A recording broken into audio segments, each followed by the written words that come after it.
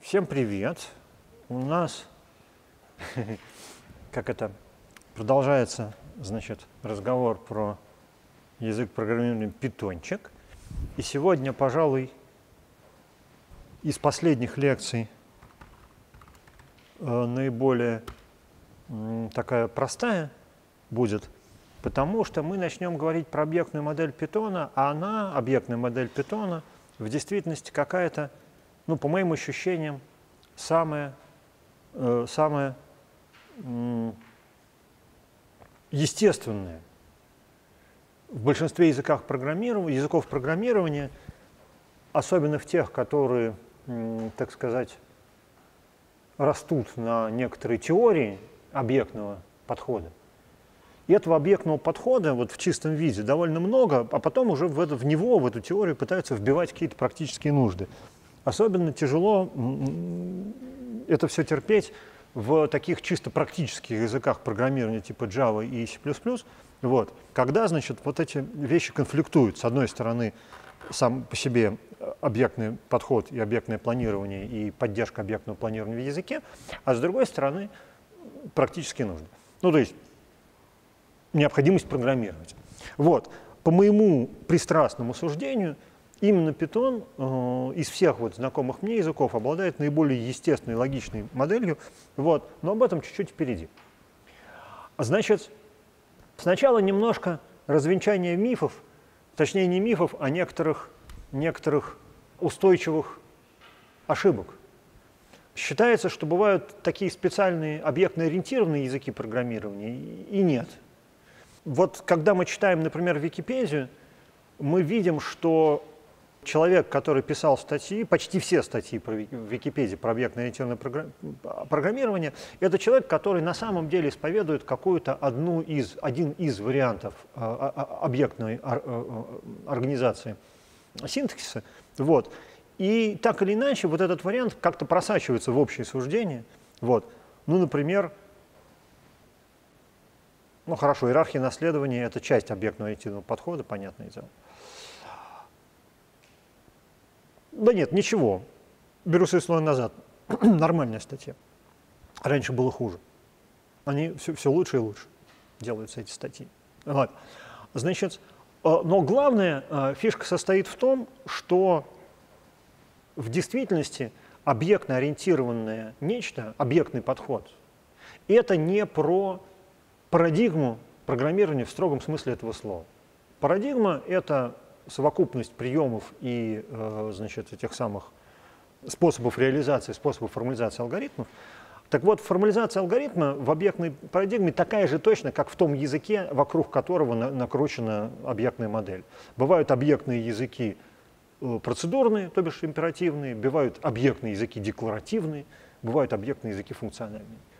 Вот. Объектно ориентированное нечто – слово «ориентированный» очень важно в данном, в данном случае, да, э, нам как бы подсказывает, что это не язык у нас объектный, а существует какое-то э, что-то, какой-то подход, ориентированный на такое понятие, как объект, а, э, использующий такое понятие, как объект, а язык, соответственно, в синтаксисе это дело поддерживает. На самом деле объектную программу, то есть сделать некоторую вот классическое объектно объектное планирование, да, сделать значит, моделирование сущностей, потом выделение э, инвариантов, потом значит, вот эту иерархию классов, когда у нас есть один общий класс, дальше подклассы, ну и так далее. Все это можно сделать совершенно не, без привязки к языку, а потом написать объектную программу на C. Вот.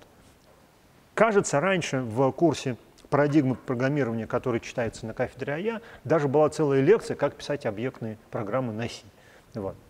То есть для этого не нужна, не нужна объектно-ориентированность языка. Ориентированность означает, что поддержка соответствующей штуки есть в синтаксе. Вот и все. Вот. Э, если дальше читать, я рекомендую почитать эту статью, потому что я вспомнил, что она уже хорошая. Если дальше читать статью про объектно-ориентированное программирование, выяснится, что на самом деле речь идет даже не про то, что у вас там какие-то классы, не классы, или там вот, а про управление. Управление чем? Ну вот тут вот как раз. Да. управление, управление поведением, управление данными и так далее. Вот, про управление, на самом деле про управление. Ну вот, э, значит, вот, значит, меня в свое время учили, что в объектно-ориентированном подходе есть три составляющих. Вот эти три составляющих. Нулевая, первая, вторая и третья. Вот. Да. Почему, почему меня учили, что три, а теперь их четыре? Предполагалось, что абстракция — это свойство вообще любого языка программирования, потому что вы всегда, вы всегда что-нибудь моделируете. Да? В нашем представлении о языках программирования есть очень мало таких, в которых вот этого ступени абстракции нет. Но э, времена меняются, и очень много высокоуровневых языков, тот же Python, э, не программистами воспринимается как такой калькулятор, на котором все нужные, особенно с использованием библиотек соответствующих, все нужные структуры данных уже готовы, и уровень абстракции вообще-то пропадает. Да? Если вы какой-нибудь, ну не знаю, высчитываете какой-нибудь геном, да, вы берете библиотеку, которая высчитывает какой-нибудь геном, и вам не от чего абстрагироваться, у вас уже есть все вот, один к одному модельки э, э, той предметной области, в которой вы прикладываете, в которой вы пишете приложение. Вот. Я думаю, что поэтому э, к, четырем пунк к трем пунктам объектно-ориентированного программирования нулевым пунктом была добавлена абстракция. Итак, с точки зрения определения чистого ООП, абстракция — это поддержка в языке, а мы говорим, когда мы говорим про объектно-ориентированное ориентированное что-то, мы говорим, что в нашем языке поддерживаются эти самые объекты. Да? Поддержка в языке э, соотношение общее-частное. Абстракция бывает вертикальная, это как вот классическая, любая классическая модель классовая. Класс экземпляр класса или базовый класс, подкласс, ну и так дальше. Да? Абстракция бывает горизонтальная, вот, когда речь идет о том, что у нас один и тот же инструмент моделирования, абстрактный достаточно, используется для моделирования совершенно различных сущностей из реального мира. Ну, например, мы можем что угодно смоделировать питоним словарем, вообще что угодно, ну почти. Да? Очень многие структуры данных моделируются с помощью словаря, и вот этот самый словарь выступает в роли такой вот абстракции, которая соответствует такому целому ряду горизонтальных всяких сущностей, да, выражаемых словарем. Вот. Значит, вторая важная, э, ну, первая важная составляющая объектно-ориентированного подхода – это инкапсуляция. Со словом инкапсуляция есть небольшое приключение, которое состоит в том, что у него есть два абсолютно не похожих друг на друга определения, и люди очень часто их э, перемешивают, а некоторые даже думают, что это одно и то же. Инкапсуляцией может называться сокрытие внутренней структуры вашего моделируемого объекта, и защита доступа извне к нему, то есть чтобы не была видна реализация или там какие-то а, приватные поля и приватные методы. Вот.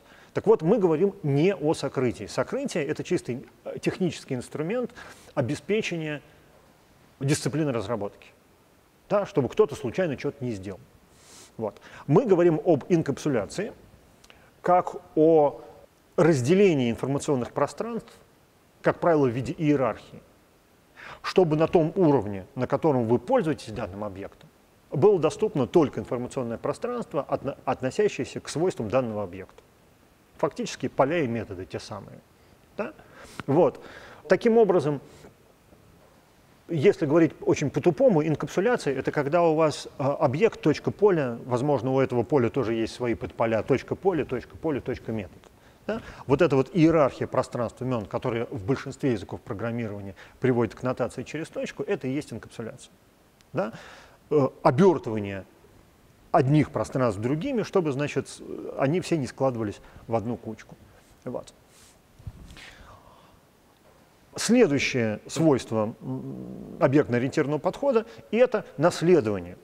Наследование – это в первую очередь про повторное использование свойств объектов. Когда у нас есть объект, мы бы хотели, чтобы другой объект обладал теми же самыми свойствами, но, возможно, слегка модифицированными. А, в плане наследования есть несколько разных техник.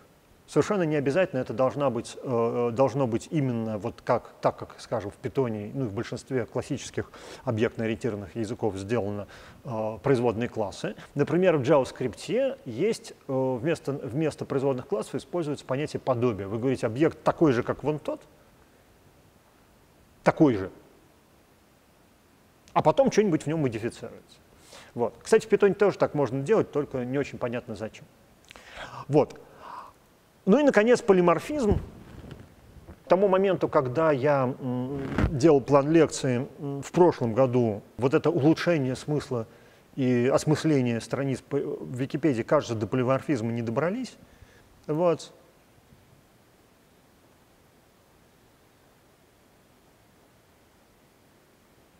Ну, здесь вроде бы ничего, а вот дальше идет объяснение с точки зрения чуть ли не C++. Вот.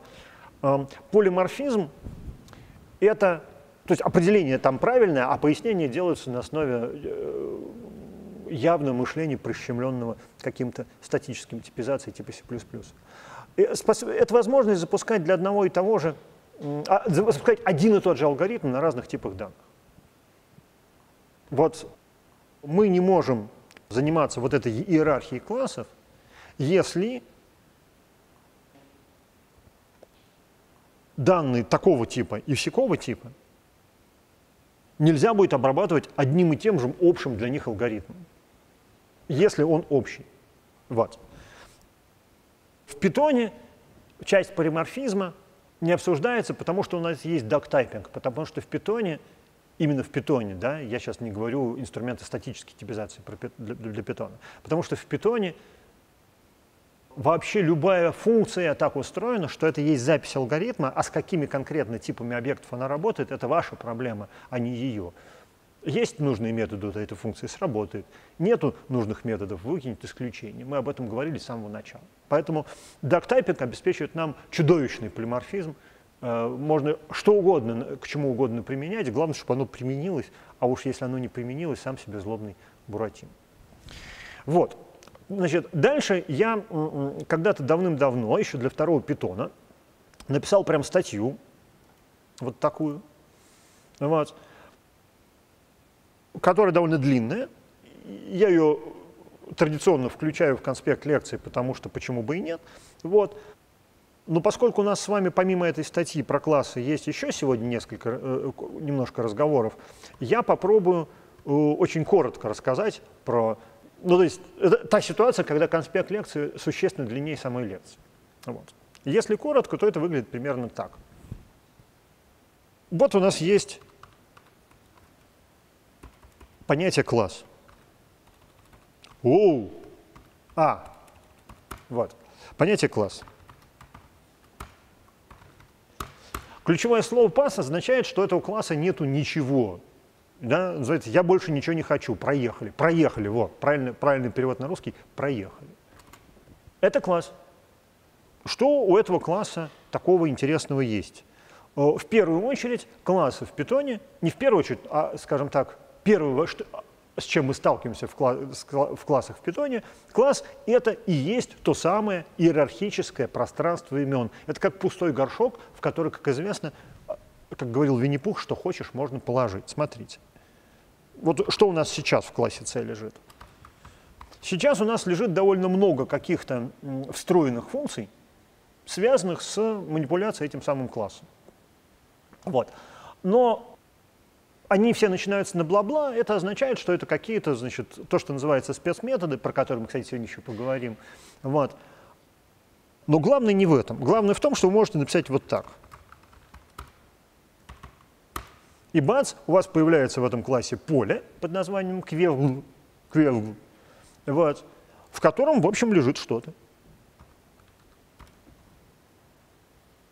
А, чем, почему я на это обращаю отдельное внимание? Потому что класс как пространство имен – это довольно интересный ход. Представьте себе, что у вас э, в вашем проекте есть куча разных констант, которые нужно э, где-то в одном месте сложить, а потом по всему проекту использовать. Вот в каком виде эти константы вообще хранить? Это вам не C, в котором можно сделать инклюд, и там все приедет.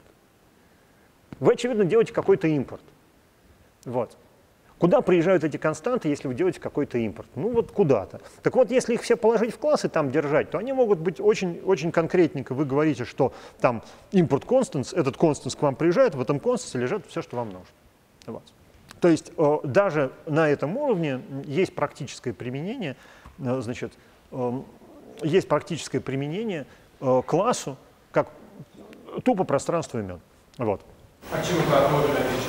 Тем, что модуль обладает очень разными спецификами. Например, модуль лежит в определенном месте в файловой системе, он к ней привязан, имя модуля связано с файловой системой, ну и так дальше. Вот. В принципе, да, модуль это тоже такой namespace, вот, но он как это, он по принуждению namespace, когда нужно распилить код на кусочки и разложить его в разные файлы. А класс, он абсолютно универсальный namespace в этом смысле. Ну вот. Но, разумеется, а, а, а, главное свойство класса не в этом. Главное свойство класса в том, что он является, сейчас я скажу правильное слово, изготовителем объектов, то бишь собственных экземпляров. Значит, я специально не говорю слово «конструктор», потому что слово «конструктор» в объектно-ориентированном подходе очень сильно, как это сказать, ну, есть, такое, есть такой термин в некоторых э, языках программирования – конструктор. Вот. Поэтому мы не будем говорить слово «конструктор», э, э, «изготовитель». Как это делается? А очень просто. Смотрите. Любой класс оказывается callable. И когда мы говорим что-нибудь вот такое, мы изготавливаем экземпляр этого класса. Вот. Тип этого объекта класс C. Помним, да, что функция type на самом деле не просто строчку возвращает, она возвращает тот самый объект, который является конструктором данного класса. Смотрите.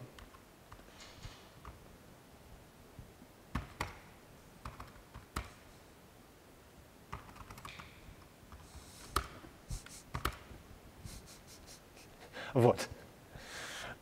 То есть Type C это именно что вот то, с помощью чего сконструировали C, его, его класс. Да? Если C это объект, типа ну, как бы экземпляр класса C, то, то Type C возвращает сам класс. Вот, значит, итак, у нас класс является конструктором, причем, обратите внимание, видите, поле C появилась в нашем экземпляре класса. Э, поле квекв. Да? Стоит нам добавить в класс C еще что-нибудь,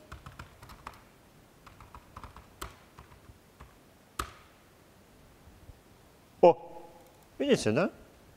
И в э, э, э экземпляре класса это что-нибудь сразу становится доступным. Вот. Как это устроено? Это очень просто устроено. У нас как бы экземпляр класса — это такое окошко к самому классу, к его полям и методам. Больше ничего. Естественно,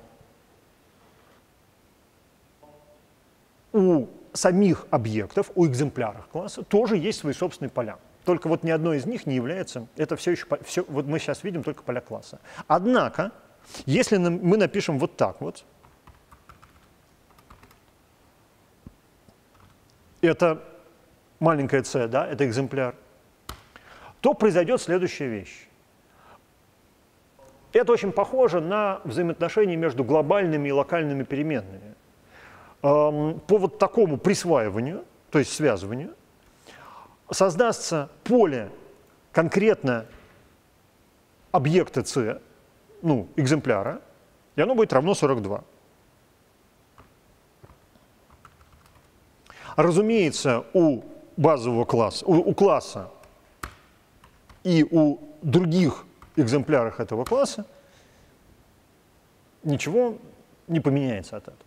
Как это работает? Ну, это очень просто работает. Когда вы говорите, что вы хотите в иерархию пространства имен вот этого экземпляра C встроить, перемен, встроить имя ку-ку-ку, да, происходит ровно то, чего вы хотите. В, в пространство имен конкретного экземпляра C встраивается имя ку-ку-ку. Если при этом у, у базового класса, у класса, вернее, э, было тоже имя ку-ку-ку, оно загораживается. Вот смотрите, сейчас как это, следите за руками. Давайте удалим Что сейчас будет?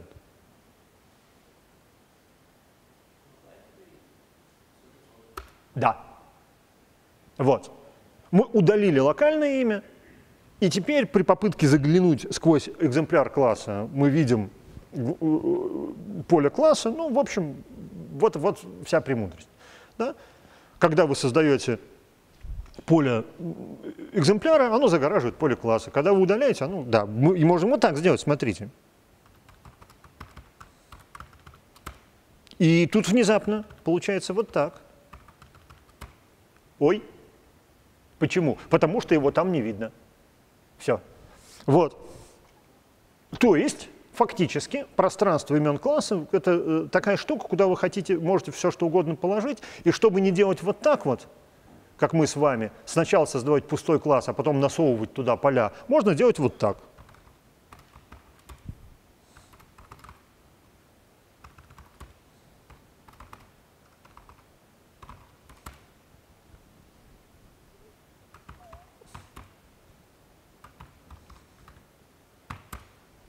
Вот и все. Да, это мы создали на скорую руку экземпляр класса, посмотрели его поле А и тут же удалили этот экземпляр. Вот. При описании класса вы можете задавать поля класса. Вот. Все, все очень просто.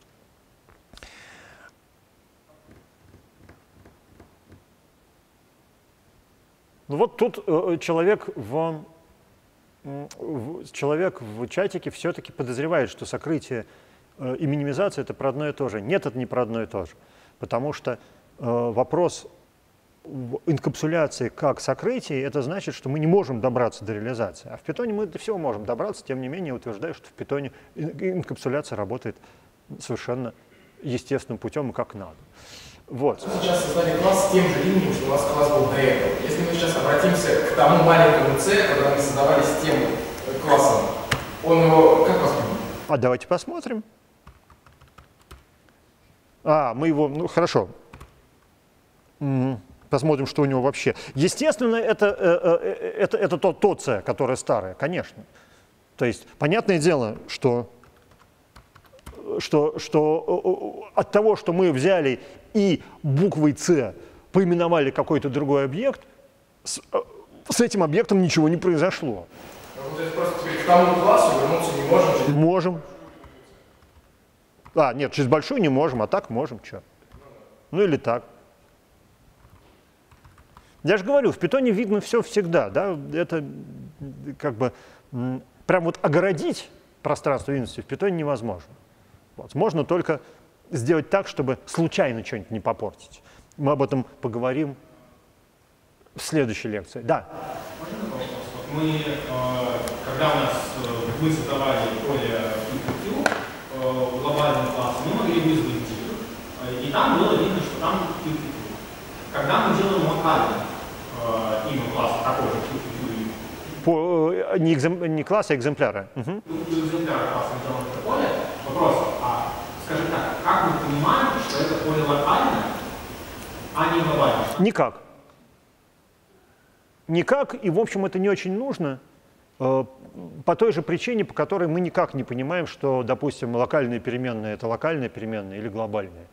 Из кода… Мы просто пытаемся взять значение, если оно у нас будет, мы поймем, если его не будет, мы потянем все Да. А если и там не будет, то будет вот такое. Вот. Ровно та же самая история, как с локальными глобальными переменными. Вот. Значит, эм, так, да, да, да. А, можно ли сделать так, что мы создадим какой-то класс и запретим создавать его экземпляр? То есть мы хотим, чтобы у нас класс был как единственный? Эм, можно сделать так, чтобы, чтобы что мы создадим какой-то класс и запретим создавать его экземпляры, но для этого надо изменить процедуру создания экземпляра, самому написать свою, которая не будет этого делать, например. Вот она просто будет, например, выкидывать exception или что-нибудь такое. Вот. Э, это тоже у нас будет, вот эти все упражнения у нас будут чуть позже, когда мы будем говорить про метаклассы, про вот это все. Пока что мы говорим про такую классическую, линейную, ну как это, обычную объектную модель. Ну вот, смотрите, значит, э, вот правило видимости, да, значит, если мы меняем атрибут, то он, скорее всего, будет, э, скорее всего, будет, то есть он будет э, атрибутом экземпляра, а если мы, значит, не трогаем его, и он у нас присутствует в классе, будет атрибутом класса, и все атрибуты класса видны через экземпляры. Все абсолютно прозрачно, никаких, никаких, никакого, никакой магии. Вот. Совершенно такая же до определенного момента история и с атрибутами, которые callable. Значит, э, тут я вынужден э, э, предупредить всех, что существует некоторая путаница, и я этой путанице подвержен. Любые атрибуты класса или объекта иногда называют полями, а вот те атрибуты класса или объекта, которые callable, вызываемые, называют методами.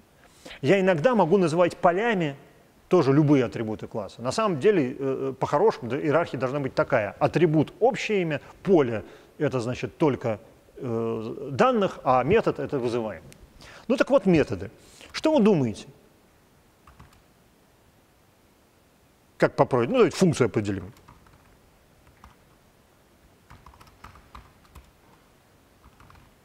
Ну, не знаю. Вот определили функцию. c m метод. Нет, m. Ну, ладно, m равняется фун. Кто мешает? Никто не мешает. Мы можем какие угодно поля делать в нашем классе. Вот, пожалуйста.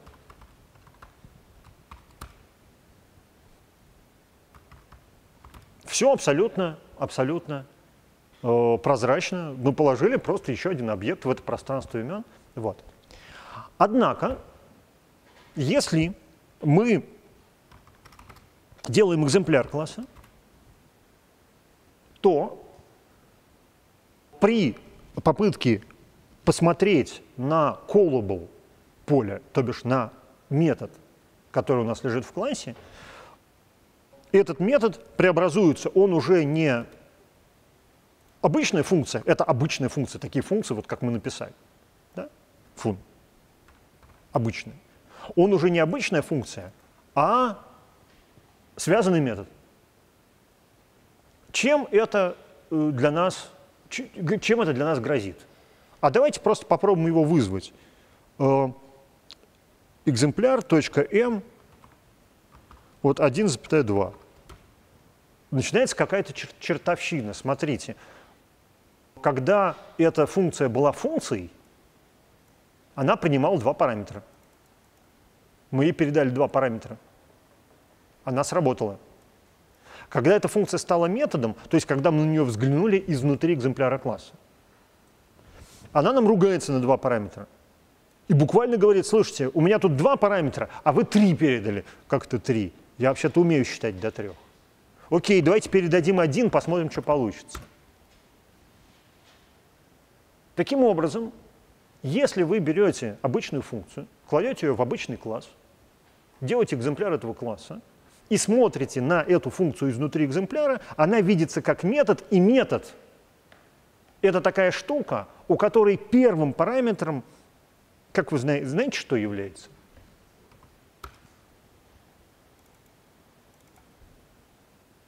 Сам экземпляр. Это делается синтаксически прозрачно, то есть нам не нужно каждый раз писать что-то такое, тем больше непонятно, что там писать. Вот. И в нашу функцию fun в результате вместо а при, при, приезжает этот самый x, а вместо b приезжает один. Все. Это вторая и, в общем-то, по большому счету, последняя хитрость, связанная с объектной моделью питона. Экземпляры класса, точнее, функция, положенная в класс, при просмотре из экземпляра класса превращается в метод, который отличается от функции тем, что ему, методу, передается э, э, сам этот экземпляр в качестве первого параметра. Все. То есть фактически да, это вот так.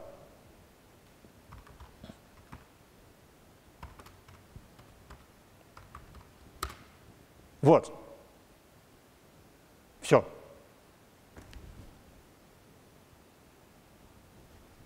Я, как это, на том уровне, если не говорить про наследование и про всякие хитрые способы организации, другие способы пространства имен, которые есть в питоне, мы про них тоже поговорим, на этом можно было вообще разговор про объектную модель в питоне и закончить. Это все.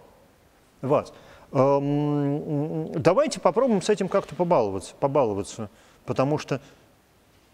А, а что баловаться? Собственно, почти все, за исключением того, что, за исключением, за исключением того, что не надо в голове строить слишком уж жестких конструкций. Ну, например,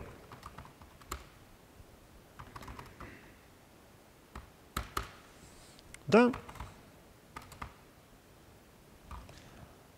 Так, тут вопрос, почему возникает атрибут error, если удалить чертов Google, в том месте, где человек задает вопрос, мне показывает смайлик. Как они вообще, кто у них интерфейсы дизайнил? А, это интересный вопрос. Давайте проверим это. Значит, тут мне задали вопрос, а нельзя ли удалить атрибут класса из объекта? Смотрите. Давайте это сделаем.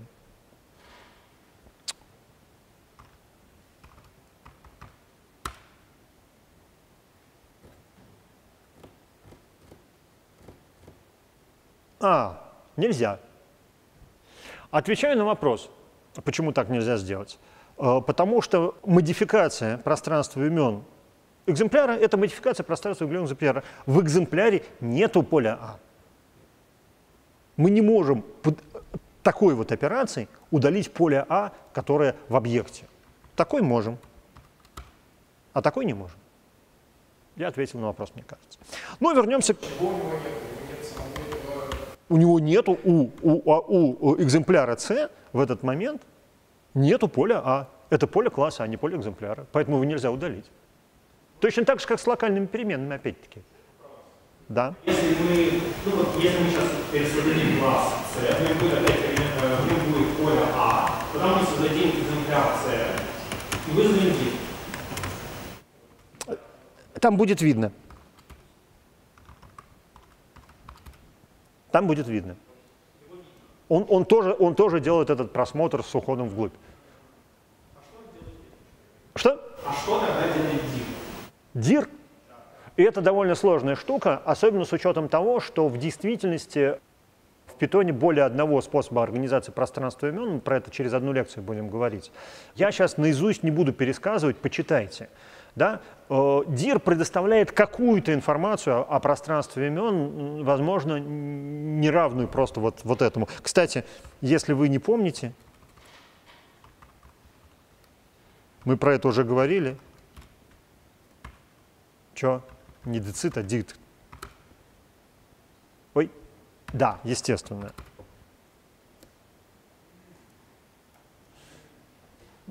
Ну, то есть вот мы помним, да, что никакого пространства имен как отдельных сущностей не существует, это просто словари. Вот эти словари, они прям есть, мы можем написать c, дикт, ну, скажем, бл равняется 100-500.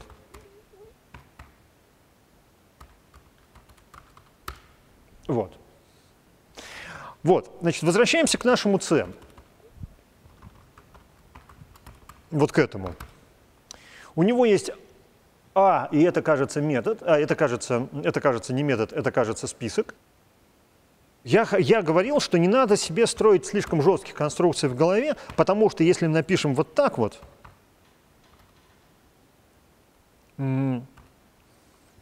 даже не так, кстати, все еще интереснее. Ой. Ага, это из, из следующей лекции. Это слоты.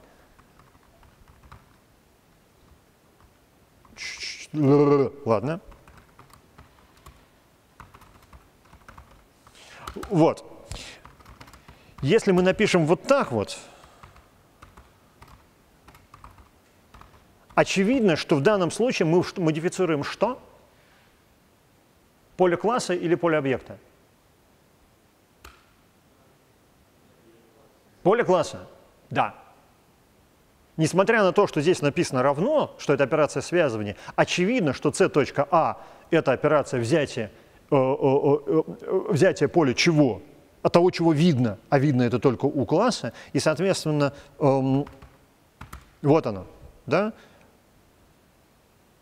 Просто не, не делайте ложных связок. Не, не, речь не, не о том, что операция связывания обязательно такая, что у нас, значит, вместо глобального, вместо поля, поля класса будет видно поле объекта. А надо смотреть, что именно мы, мы модифицируем. В данном случае модифицируем вот этот конкретный элемент чего? Поле класса.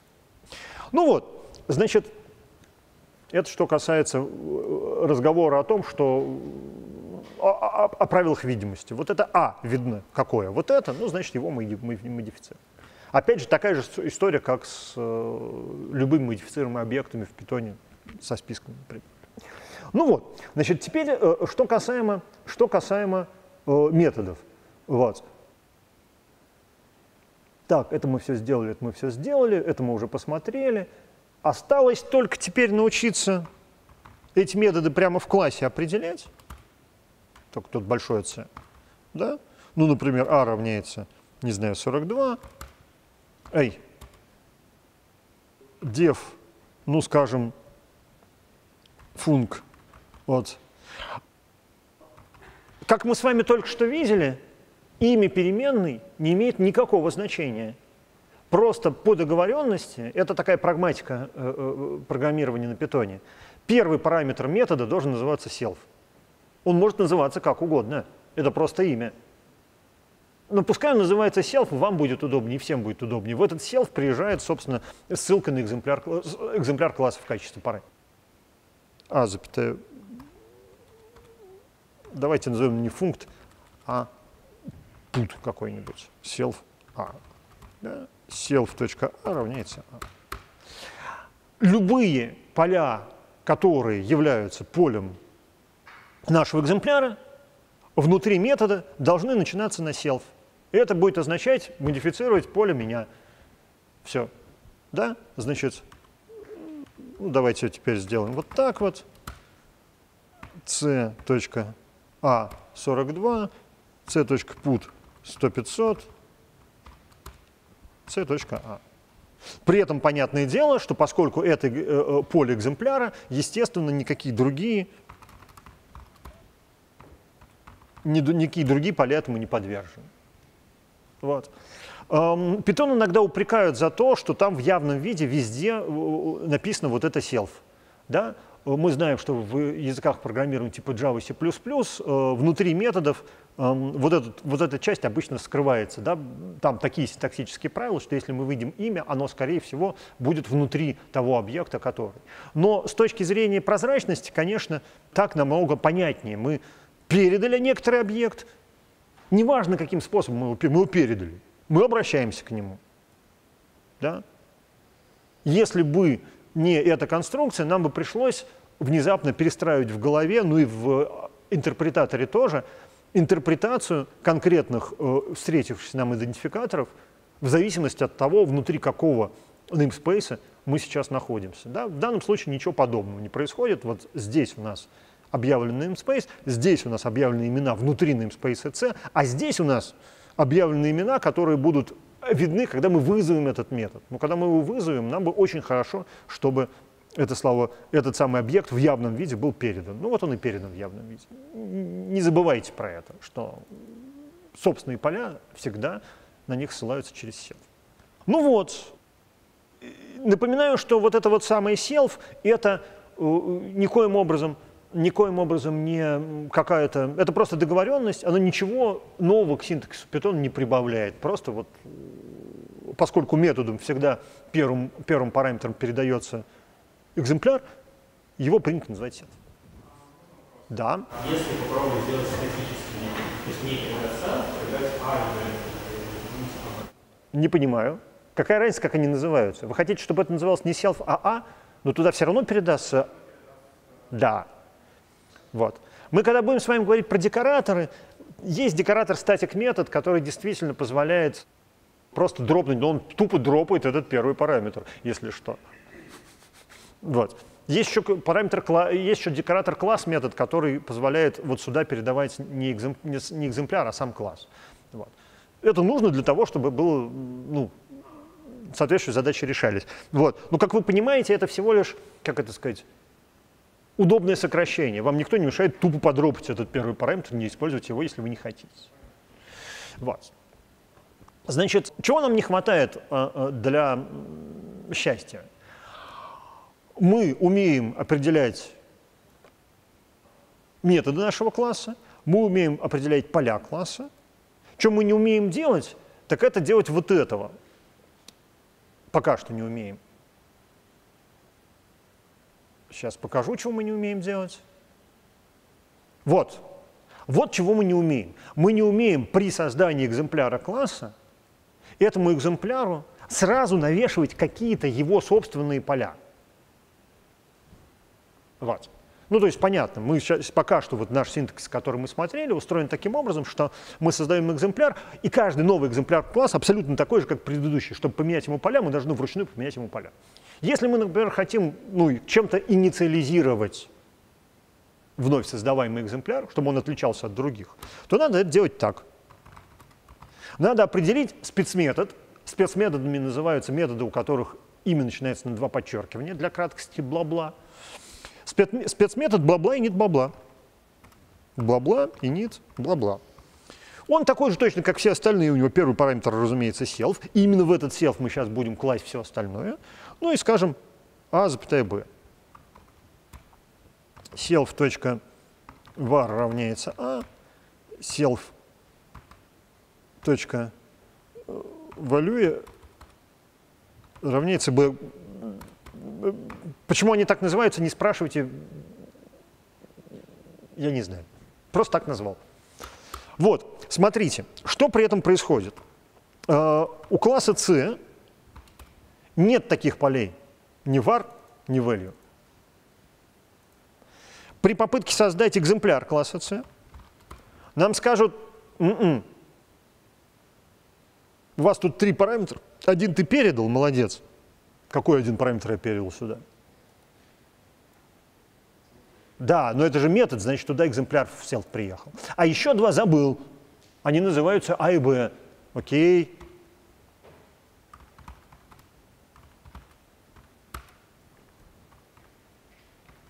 Вот. И вот после того, как он уже создался, этот самый, вот, пожалуйста, там есть поля сразу value и var, и они равны, а, соответственно, a и b, то есть при инициализации при инициализации э, э, нашего экземпляра у нас э, мы в это не конструктор, да? Не следует путать init с конструктором. Init — это инициализатор. К тому моменту, когда вызывается init, задача конструирования экземпляра класса уже сделана. Он уже есть готовый, у него только поля еще не проинициализированы некоторые. Вот. Да? Поэтому init — это не конструктор, это инициализатор. Вот. Эм. Такие дела. Значит, вот мы написали init, и вообще-то уже получается, что мы можем вполне себе, вполне себе баловаться с классами, экземплярами класса столько, сколько хотим. Вот вся функциональность налицо. Но питон не был бы питоном, если бы не притаскивал целую кучу всяких удобств, о которых мы поговорим, но чуть позже, буквально на несколько минут, прежде чем повторим э, все, что мы узнали до этого момента. Итак, класс — это в первую очередь пространство имен, просто пространство имен. Во-вторых, класс — это изготовитель объекта экземпляра. У класса есть атрибуты, эти атрибуты бывают либо обычными, и тогда они называются поля, либо callable, и тогда они называются методы. Все поля класса видны изнутри объекта до тех пор, пока мы их не загородим полем объекта. Все функции класса тоже видны, э, видны изнутри объекта, но они превращаются в методы. Кстати, давайте сразу это проверим наше предположение. Мое предположение такое, что если я сейчас в экземпляр класса добавлю функцию, то, разумеется, она там будет лежать как функция. Вот. Сейчас пока вы не сделали вопрос. Вы создали c малое равно c большое, скобочки, у вас выдала ошибку type error. А на каком питоне под Python? Просто у меня, я запускаю 3.11, и он мне выдает на эту строчку name error, что у него имя c большое не, не, не существует. Ну, потому что надо c большое сначала сделать было. Вот это надо было сделать. Я его создал, и он потом после создания... Значит, это было русское. Я дал ему C с параметрами, он уже создал объект нормально. Нет, так не бывает. возможно, вы написали русскую букву «С», честное слово. С, с буквой «С» есть одна проблема. Она, во-первых, похожа на букву «С» русскую, во-вторых, на одной и той же клавише находится. Ну, потому что name year — это name year. Значит, в пространстве имен нет такой буквы, ну, нет такого идентификатора. Вот. Ну вот, смотрите, я, давайте проверим это.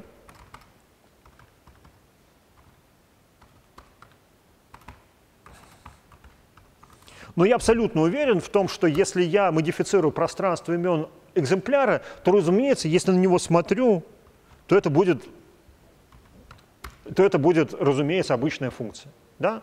Это, это вам не модификация пространства имен класса. Вот если я модифицирую пространство имен класса, то внезапно оно превращается в метод. Вот. Ну вот, эм, да, значит, продолжаем, продолжаем наш разговор про, э, да. И, наконец, специальный метод init нужен для того, чтобы при создании экземпляра мы заполнили его экземпляр пространства имен, э, как хотим как хотим. На самом деле это, естественно, э, э, совершенно не обязательно в этом ините только присваивание. Это обычный, обычный метод, там что угодно может твориться. Все. Инит — это не конструктор. А как конструктор и? Нет ни конструкторов, ни деструкторов. А зачем? Есть, мы про это поговорим через, два, через, через лекцию, есть метод new, отвечающий за изготовление экземпляра. Он почти что конструктор. А деструктор нету, потому что... Да, потому что сборщик мусора. Но есть метод delete, который вызывается перед тем, как, вы, э, как этот сборщик мусора значит, захочет удалить ваш объект. Например, вы хотите что-нибудь там, ну не знаю, диагностику какую-нибудь вывести или какую-нибудь в базе. Что? Метод бла-бла делит бла-бла, который вызывается не тогда, когда вы сказали del объект, а тогда, когда сборщик мусора решает удалить этот объект, потому что на него рефы кончились, и его пора из кэша удалять. Вот. Uh, да, я совсем забыл, что так же, как в функциях есть строки документации, помните, которые uh, что-то точка бла-бла, док бла-бла, и там help по ним красивые, и все вот это. Такая же точно абсолютная э, штука, и, разумеется, и в классах, и в методах. Вот можно вот так написать.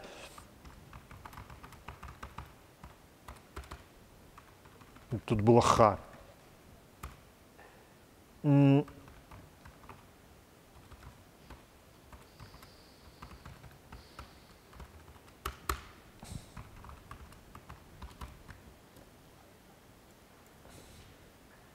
Вот. То есть свойство самодокументированности, разумеется, распространяется и на классы, и на методы классов. И когда мы говорим что-нибудь такое, ну хоть вот так вот, да, то вот это все, собственно, вот все, что мы сейчас видим, да, все, что мы сейчас видим, вот это вот все, это все вынуто из, из соответствующего модуля. А это help по соответствующему, по, по соответствующему, по соответствующему методу соответствующего, ну, в общем, вы меня поняли. Да? Э, если я хочу документировать вариацию класса. Да, значит, документация полей класса, кажется, все еще до конца не решена эта проблема. Боюсь соврать, но кажется, нет. Вот. А что значит не до конца? А, хороший вопрос. Давайте посмотрим, как здесь это устроено. В чем проблема задокументировать init, да, такие варианты? Да, нет, значит, проблема, проблема в init или в класс просто написать вот такое поле, да, никакой. Просто это не будет документация, встроенная в поле, потому что в поле некуда встраивать документацию. Так-то какая разница? Ну вот давайте посмотрим, как это решено в том же RE, да?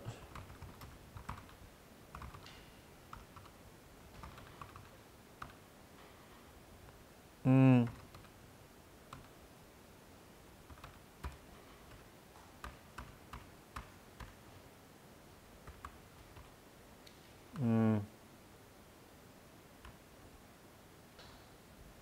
Так, смотрите.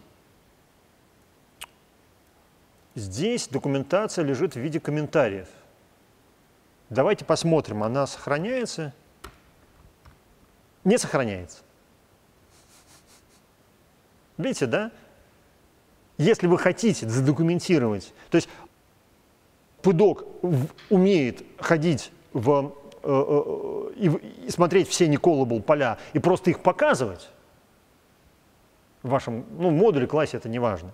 А вот документация к ним должна где-то отдельно лежать, если вы хотите описание текста положить. Например, просто в самом хелпе там по иниту или по классу. Вот. Такие дела. Именно поэтому она решена не до конца. Кажется, есть такие дисциплины, которые позволяют хитрым образом делать значащие комментарии, которые потом будут раскрываться как документация к полям, но в синтаксисе питона этого нет. Ну вот, а теперь самое веселое, ради, ради чего, собственно, нет, я вру, конечно, я не ради этого затеял сегодняшнюю лекцию, но это, пожалуй, самое веселое, что сегодня на лекции э, может произойти, это перегрузка операций. Название абсолютно неправильное, никакой перегрузки операций в питоне нет. В питоне есть все строго наоборот. Мы с вами помним, что любая операция, даже там точка, квадратная скобка, по секрету скажу, круглая скобка тоже – в питоне это на самом деле вызов соответствующего метода с правильным именем. Да? Например, ну, допустим,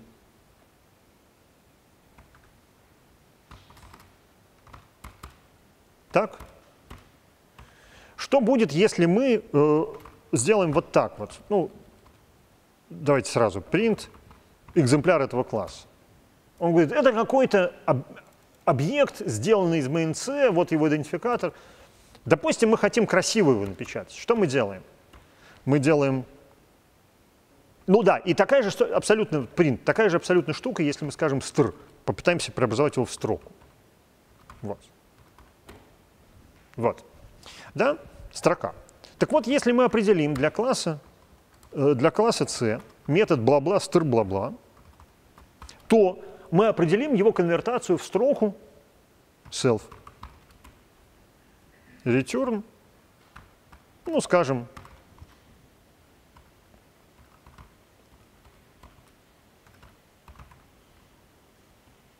точка var,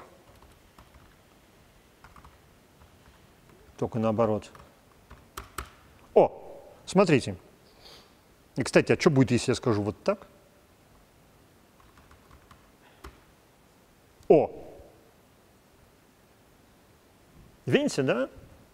Мы создали объект какой-то, и когда мы сказали к нему str от этот объект, специальный протокол преобразования в строку сходил к этому объекту, проверил, нет ли у него метода str. Метод str есть, он его вызвал и вернул нам вот это.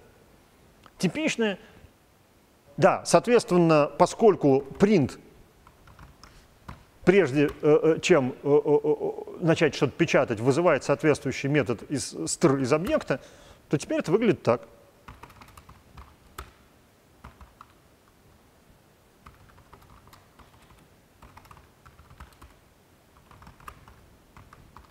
Вот. Да. А, а у нас есть метод STF, который. Если мы хотим преобразовать наш класс к чему-то преобразуйте его к чему-то другому. Хорошо, метод линта, допустим, я предполагаю, что это линк не прошокин, не не прошокин, не линк, не прошокин, не прошокин. Очень интересно, давайте попробуем. Я думаю, что нет, но давайте попробуем. То есть я точно знаю, что есть э, протокол строкового преобразования, а про протокол числового преобразования я, честно говоря, не знаю. Ну давайте попробуем. Что он мешает?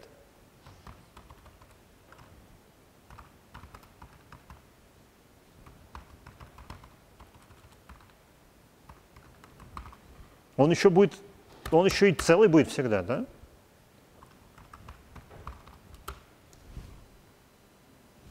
Вы правы. В числовой протокол такая штука входит. Если в вашем объекте определен метод int, значит его можно преобразовывать в int. Ну, бла-бла, int, бла-бла, бла-бла.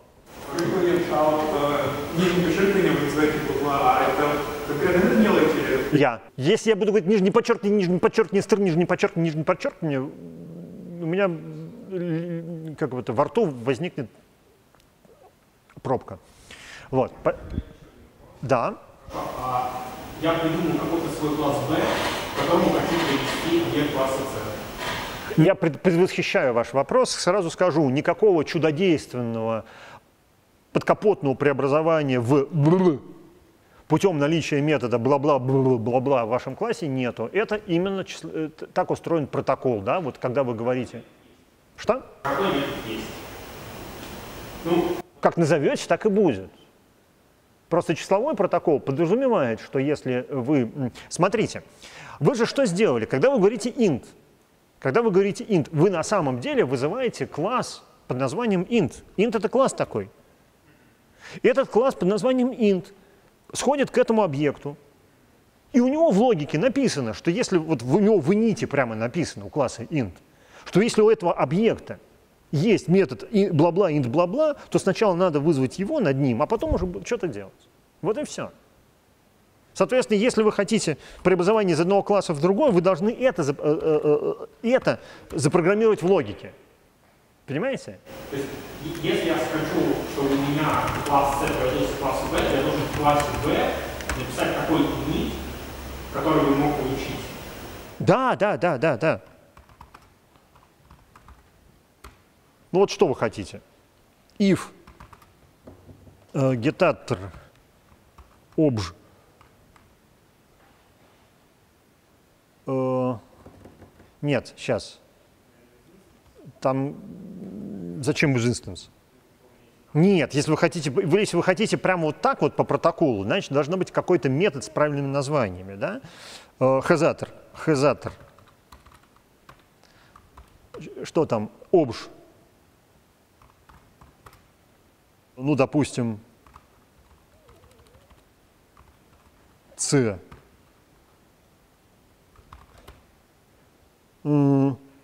self.value равняется obj.c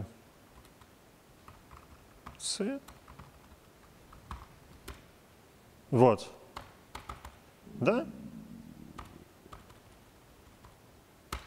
Вот. Ну и, соответственно, класс B, def C, нехорошо. Сейчас, погодите, хочу, не хочу вас запутывать, давайте мы уберем это бла-бла. Вот там есть одна тонкость, о которой я сегодня рассказывать не буду. Вот так вот, да? И вот протокол, который вы придумаете, состоит в том, что если у объекта есть метод c большое, то этот метод c большое при init, при init вызывается, да? Вот. Всего-навсего, да, def c self. Вот и все. Вот. И если мы говорим что-то типа экземпляр равняется, равняется c от b,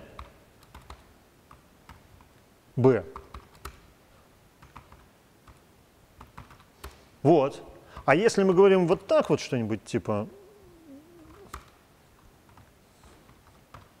ап, этот if не сработал, у нас поля value вообще нету. Да, да, ну, очень тупой протокол, естественно, в действительности хорошо бы его организовать так, чтобы таких глупостей не было, но, в общем, тем не менее. Вот. И это то же самое с, с, с интом и со всем остальным. Вот заодно мы э, затронули тему гитатор, э, сетатор и, и так далее. Вот.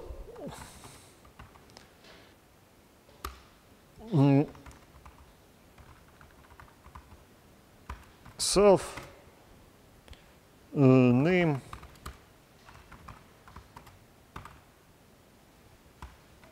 Нет, это, это будет слишком вот так вот. Знаете, что мы сейчас сделали? Мы сейчас сделали такой класс C, у которого можно э, э, э, значение любого поля найти с любым именем. Вот. Хуже того,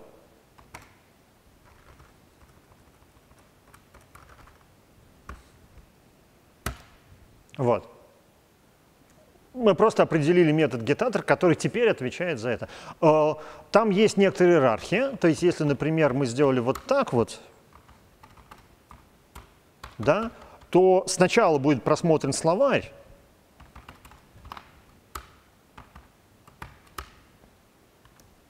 а уже потом, если в словаре нету, да,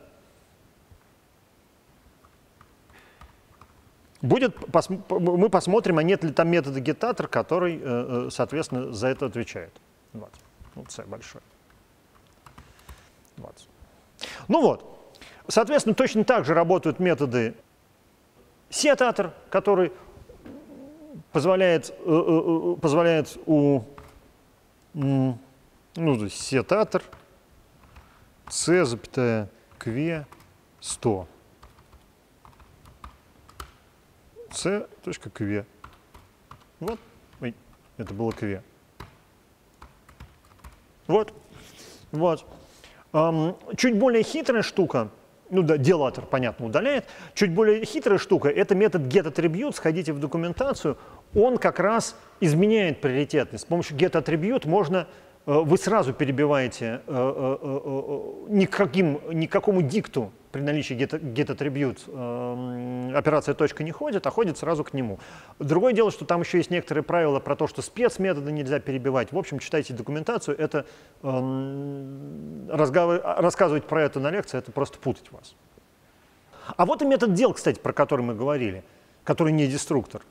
Да? Он вызывается в тот момент, он вызывается в тот момент, когда кэшу и сборщику мусора – приходит в голову удалять ваш объект. Как правило, это происходит в момент, когда рефкаунт уменьшается, но поскольку это кэш и сборщик мусора, возможно, это происходит чуть позже. Вот. Я честно не помню, давайте попробуем.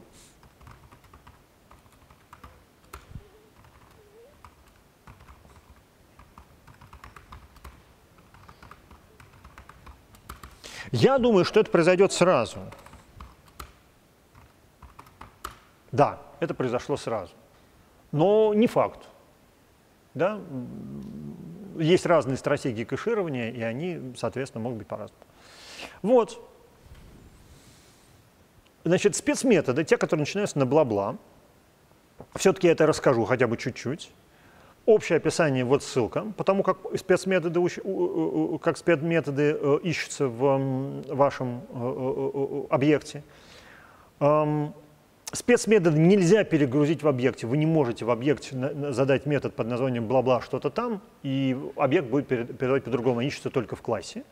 И они не, нельзя их подменить с помощью getAtter и getAttribute. Это сделано, чтобы не запутаться самого себя. Спецметоды всегда есть. Э, ну, они как бы, их, их, их очень тяжело э, сильно изменить. Их надо задать. Спецметоды есть вообще для всего. Самое забавное из них – это спецметоды для операций тех самых. Умножить, разделить, вот это все. Вот. Значит, помимо str есть еще на самом деле метод repr. Давайте мы найдем где-нибудь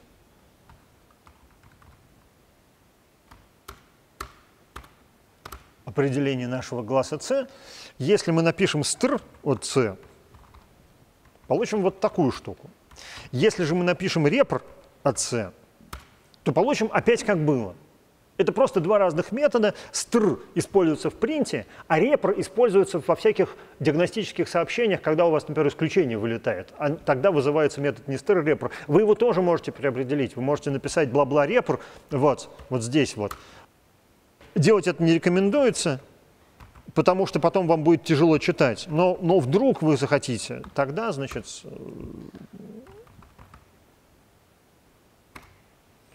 вот, понимаете, вот если я сейчас попытаюсь преобразовать его в строку, он же вызовет стр, черт побери. F. Я же не могу написать вот так вот.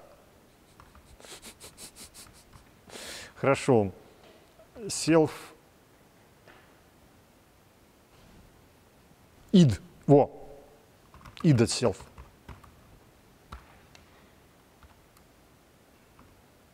Of self.class. Во. Ну-ка, пробуем. О, смотрите, стало хуже. Но, тем не менее, я переопределил метод ref. Вот, То же самое относится к методу len, который, который э, значит, вычисляет длину, к методу iter, если у вас есть метод бла-бла, iter, бла-бла, значит, по вашему объекту можно итерировать, к методу bool, который возвращает, а, пустой ваш объект или не пустой. Вот. Ну, давайте сюда Да, да, да, да, да. У вас есть что-то, и он должен возвращать пустой или не пустой объект, true или, ну, по-хорошему по лучше true или false, чтобы ни, никого не пугать. Но когда вы будете говорить, э, использовать ваш экземпляр класса как эм, логическую переменную, соответственно, вот именно bool будет преобразовывать его, в, ну, как бы, э, интерпретировать его как пустой или не пустой. Мне кажется, тут можно и... Э, Вопрос. Когда мы говорим про логику и то, что в питоне пустые и пустые объекты в принципе отключены, uh-huh. значит, пустой кортеж это false, uh-huh. кортеж это true, нам была такая замечательная схема и замечательный факт, что у нас есть как бы ленивая логика, и у нас, ну, например, если у нас есть n, и мы, допустим, сравниваем пустой кортеж n пустая строка, то мы берем пустой кортеж, а не false, потому что мы интерпретируем пустой кортеж как false и берем сразу пустой угу. а, Вопрос. А, что знаем про метод что происходит? Мы обращаемся к методу bool, интерпретируем пустой кортеж как false, потом с помощью n смотрим, что у нас... Я, кажется, ответил на ваш вопрос уже.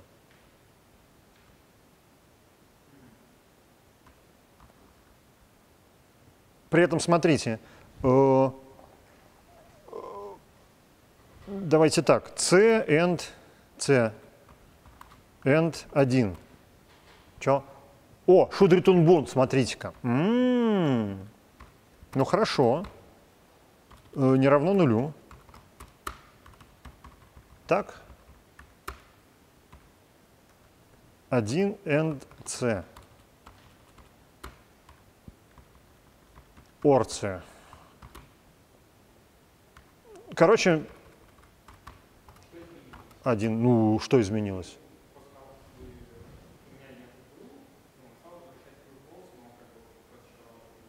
Нет, смотрите, конкретно метод bool должен возвращать либо true, либо false. Таков протокол. Если вы его определяете, вот. Да, да, но, но операция, как видите, возвращает все как надо. Вот. Такие дела. Значит, та же самая история с числовым протоколом, да, он более сложный. Ну, у нас вообще под любую арифметическую операцию, под любую арифметическую операцию есть соответствующий метод. Да? Ну, например, класс D, def add self var return, ну, не знаю, value равняется 100, return d от self value плюс var. Да? Init еще. Dev init self val self value равняется val. Кажется так. D. Ну, естественно, от одного. Давайте мы еще стр туда впишем, раз уж мы умеем. Dev str self. Опечатка где? А, в эти. Ага, спасибо. И она будет только в рантайме раскрыта.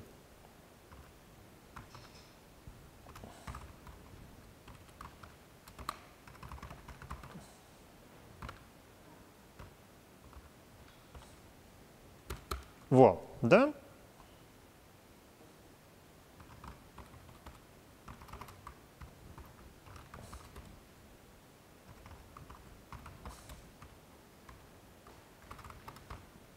Опа! Тот факт, что у нас э, вообще, ну или так, если хотите, да, тот факт, что у нас вообще определен метод add, означает, что у нас определена операция сложения. Кстати, я не зря, э, не зря вспомнил про протокол, про протокол сложения, потому что он чуть более сложный. Да, у нас нет правого сложения. Оно не реверс, оно right. Да? У нас нет правого сложения. Как, как работает протокол сложения? Он пытается сначала сложить 5 с d. Если он попытался сложить 5 с d, то обычно получится, это получится вот так вот.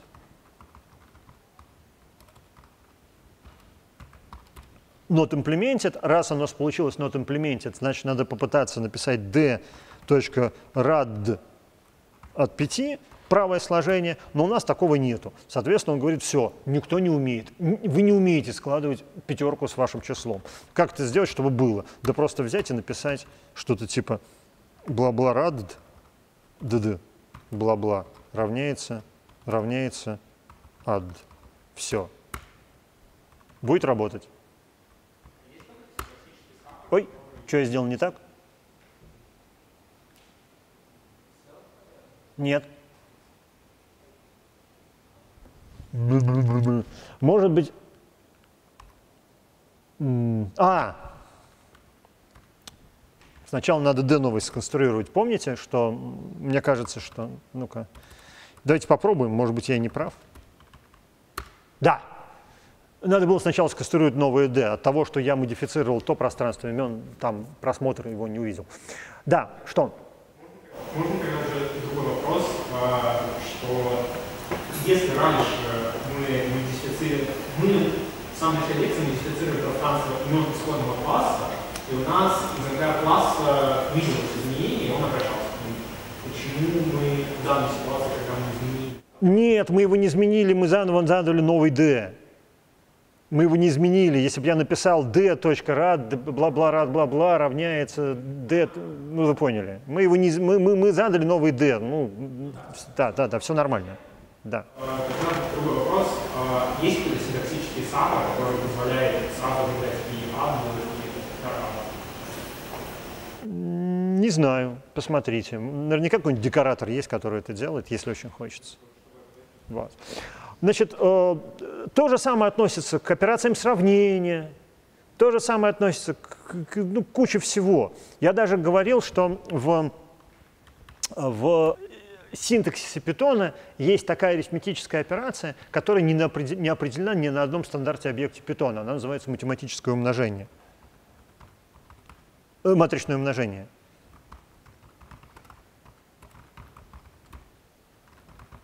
Вот. Операция есть, и ни в одном стандарт, ни в одном стандарт объекта она не определена. Но если ее определить, то она будет работать. У нас что там? Ну, пускай будет тупо умножение.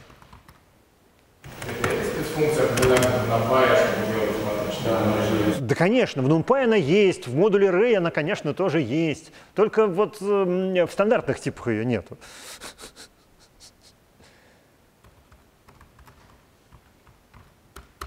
Вот. Нет, вот. Упс. Вот. Как я уже говорил, то же самое относится и к всяким более хитрым а, а, то же самое относится и к более хитрым штукам, например, операция квадратная скобочка, она же, она же э, гитайтим сетайтим, да? Смотрите, мы, мы с вами это делали даже в начале где-то, да?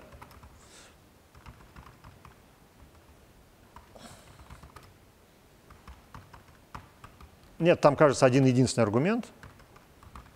Давайте для начала просто вот так сделаем. Нет, давайте все-таки не print, а return, чтобы...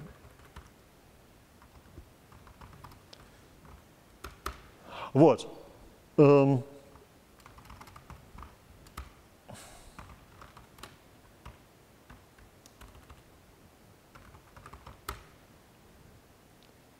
Да, э, в действительности, если в вашем объекте есть метод getItem, то весь наш, вот это вот, вот, все эти наши упражнения с квадратными скобочками и даже со слайсами, в смысле с секциями, превращаются в передачу соответствующих параметров. Причем, если вы не указали в слайсе соответствующего параметра, то он приезжает known, вот и все. А дальше вы что хотите, то и делаете. Проверяете там у себя внутри known это, в смысле слайс это или целое число. На самом деле вы можете туда передать вообще все, что угодно. Совершенно не обязательно туда передавать что-то осмысленное. Вы можете задизайнить а, ваш, воспользоваться квадратной скобочкой для того, чтобы задизайнить какую-нибудь совершенно умопомрачительную логику в, ваш, э, в вашем объекте, потому что туда можно передавать вообще все, что угодно, ну прям совсем. Это множество туда было передано. Какая разница? Тут приедет просто в качестве параметра гетайтим. Да? Просто у вас будет такая операция квадратной скобочки с вашим объектом. Вот. То же самое с сетайтимом. Ну, в общем, вот. А существуют какие-то неочевидные операторы по типу собака? Да нет, не существует. Он, по-моему, покажется один такой. Вот. Ну, не знаю, там по типу плюсов меньше, меньше. А он существует?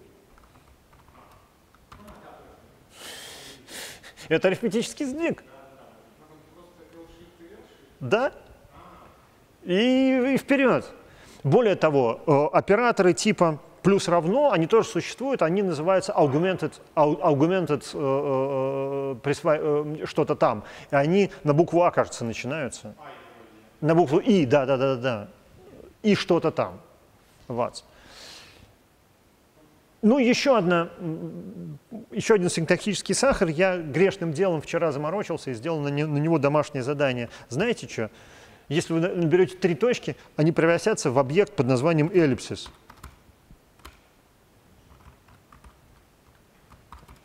Это просто такой объект. Вот. Он нужен только для того, чтобы к вашему, вашем, э, э, э, вашем синтаксисе можно было делать всякие загадочные штуки с многоточиями.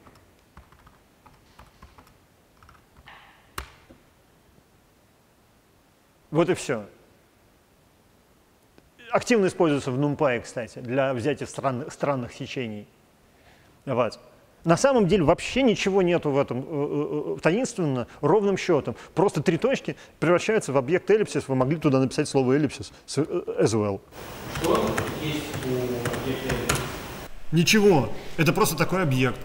Ну, единственное, это просто его можно сравнивать с объектом эллипсис. Да. Желательно из. Вот. У, него даже, у, у него даже в синтаксисе нету, нету вот такого класса. Потому что он не нужен. Он есть где-то, он недоступен в namespace. Я это вчера узнал. Короче говоря, объект эллипсис нужен только для того, чтобы э, пользователь мог использовать три точки, где хочет. С большой, с большой. Видите, с маленькой нет. Вот. Но на самом деле три точки надо. Вот. Эм, да. Что-то еще хотел. А! Call. Если вы думаете, что вызов функции чем-то от всего этого отличается, ничего подобного.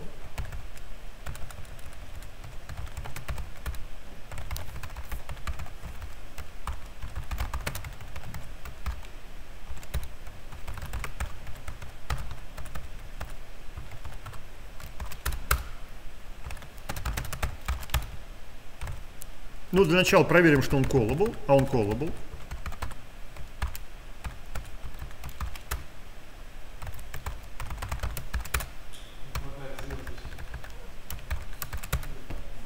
Да.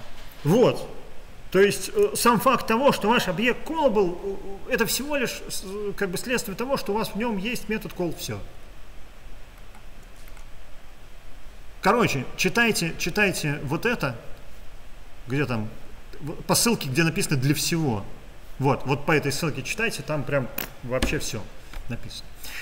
Все, если есть вопросы, давайте, значит, давайте, давайте их задавайте. Домашнее задание, да, значит, домашнее задание, что? Я забыл ну, я сегодня напишу, вот это единственная задача, которая у меня есть в домашней заготовке, остальные три я придумал вчера, вот, а эту я забыл, забыл скопипастить. Ну, в общем, домашнее задание несложное, но развесистое. Вам смайлики придется рисовать, вот такие. Причем это положительный смайлик, а это отрицательный, видите, он кверх ногами. Вот, значит, э, если есть вопросы, задавайте. А можно конкретный кейс э, эллипсиса? Я не Эм, читайте документацию по NumPy. когда вам нужно указать какое-то страшное сечение многомерных матриц, э, уменьшая или подделать, делать под матрицу, например. Вам нужно это как-то как сделать так, чтобы не, не вызывать метод со словами, внутри которых какие-то другие слова, еще что-то, как это число, многоточие число. Вот то, ровно для этого. В NumPy оно используется сплошь, прям сплошь и рядом. Вот. Я просто сейчас не готов э, рыться. Ну, если хотите, давайте порымся вместе.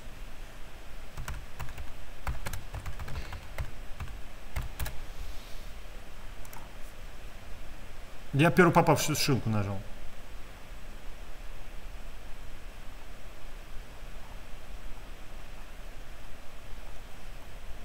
О! Нет, это, это, это... Что? О, вот.